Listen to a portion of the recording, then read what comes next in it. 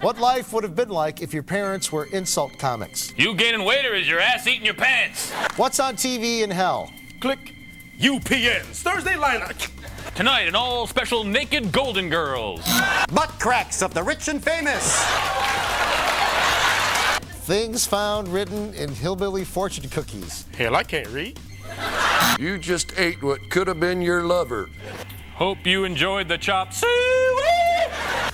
Howdy. Hit numbers from a musical about breasts. I got a dime for two nipples. Memories. I'd like to stick my head in, go. Oh, damn, that's some Come in Tokyo, come in Tokyo. You make me feel so young.